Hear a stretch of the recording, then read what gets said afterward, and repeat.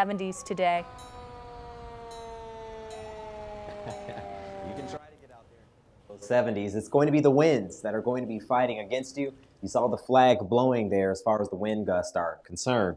Uh, they're going up to around 38 miles per hour, so that's going to make it tough to enjoy lunch outside or even just to enjoy outside. But we're on a warm up here. 62 degrees right now, mix of sun and clouds. Across Metro Detroit, a few of us are still in the 50s, like for instance Pontiac at 59, uh, but Lapeer at 62 and Howell at around 62 degrees as well with lots of sunshine. You need those sunglasses. But here's a look at the wind gust. That's going to be the main story here. Gust up to around 35, even 39 miles per hour down towards Adrian.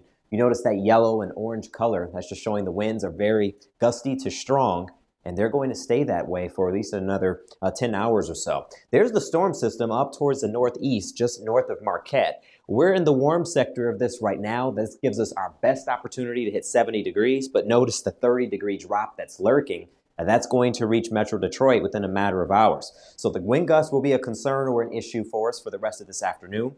As we get towards the evening time, winds should settle down some. Still breezy, just not as strong as they are right now. But then we'll switch gears to the rain as that cold front continues to push across Metro Detroit. We're not expecting a lot of rain here, but most of it's going to be very scattered at best. Should be out of here by the time we wake up for your Wednesday morning. And then the attention's going to shift from the rain and the wind to primarily just the colder air as it pushes in, giving us an opportunity for snow showers. So yeah, we'll go from 70 today to barely hitting 40 by Thursday. 70 degrees will be the high temp today. Windy and warm is what we'll call it. Into the evening, we'll be in the 50s, clear skies, cool. Winds are going to be breezy as well to gusty.